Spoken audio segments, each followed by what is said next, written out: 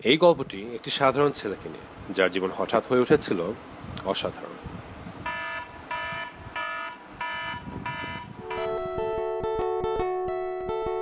এই গল্পটির নায়ক ফারহান। ফারহান প্রতিদিন তার দাঁত একইভাবে মাঝে সে প্রতিদিন শুধুই সাদা শার্ট জিন্স পরে। সে প্রতিদিন তার মা বাবার সাথে একই খাবার খায়।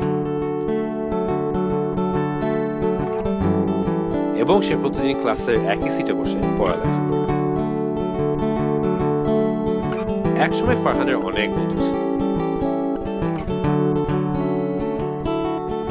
কিন্তু এখন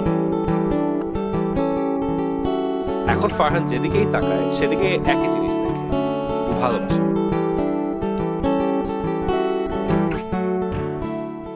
বেচারা ফারহান। কিন্তু একদিন ফারহানের সাধারণ জীবন হয়ে গেল। অসাধারণ।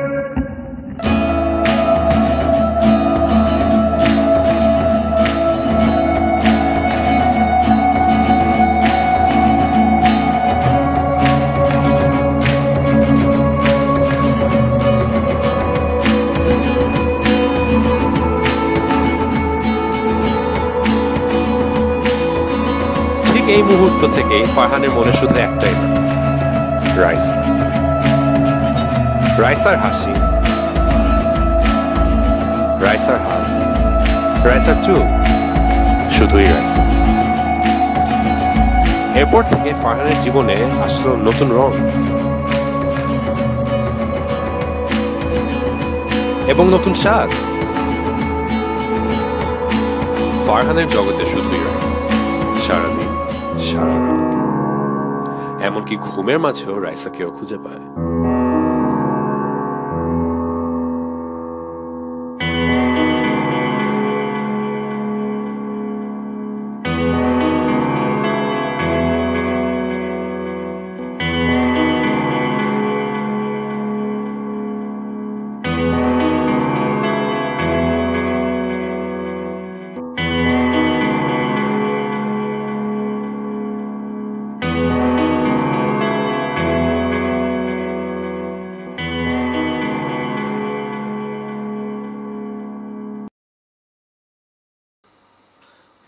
অবশেষে ফারহান বুঝতে পারল যে দূর থেকে রাইসাকে ভালোবেসে গেলে রাইসা দূরেই থেকে যাবে। রাইসাকে তার মনের কথা সে জানাবেই।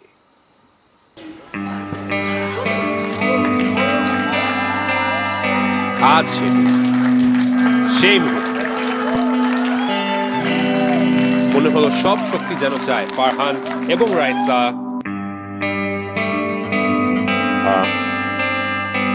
এটা কি হচ্ছে? এই ইডিয়েটটা ইডিয়েটটাকে, এই ইডিয়েটটাকে এত চেনা চেনা কেন লাগছে? আর তখন ফারহানের সব মনে আসলো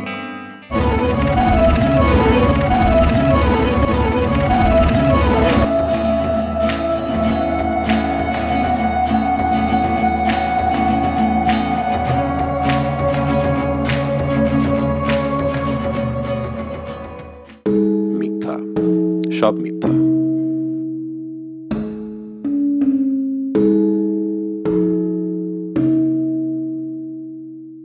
ফারহান চিন্তা করল যে, ধুর, ভালোবাসা, টালোবাসা, এসব সত্যি সত্যি হয় নাকি? ফারহান ছিল পুরুষ মানুষ, আর পুরুষ মানুষ তো কোনো সময় মন খারাপ করে না। পুরুষ মানুষ তো কোনো সময় কান্নাকাটি করে না। ফারহান ঠিক সে কোনো সময় আর কাউকে ভালোবাসবে না।